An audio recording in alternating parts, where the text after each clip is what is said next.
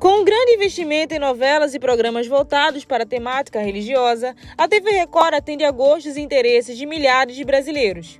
Entretanto, uma nova polêmica está crescendo na internet após a emissora estar sendo processada por intolerância religiosa.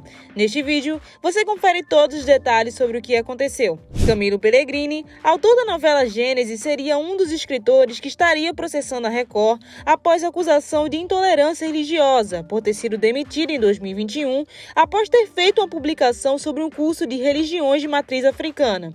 Pellegrini conta que após a publicação recebeu uma ligação da filha de Edir Macedo, proprietário da emissora e líder da Igreja Universal Reino de Deus, informando que ele não seria mais responsável por escrever a novela Reis, a qual já estava escalado. A roteirista Paula Richard, autora de Dez Mandamentos, também estaria processando a empresa pelo mesmo motivo, além de acusar a Record de desrespeitar as leis trabalhistas por ter sido contratada como uma pessoa jurídica, apesar de ter a mesma rotina de colegas em regime de CLT.